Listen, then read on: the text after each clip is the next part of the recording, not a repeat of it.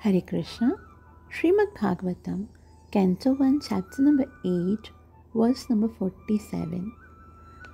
आह राजा धर्मसुत चिन्तयन् सुहृदां वधं प्राकृतेनात्मना विप्रा स्नेहमोहवशं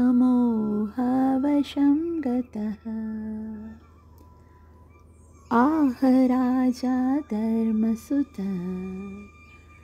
चिन्तयन् सुहृदां वदं प्राकृतेनात्मना विप्राः, स्नेहमोहवशं गतः।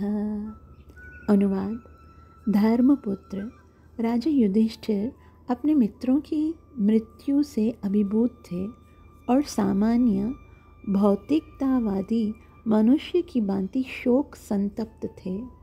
हे मुनियों, इस प्रकार स्नेह से मोहग्रस्त होकर वे बोले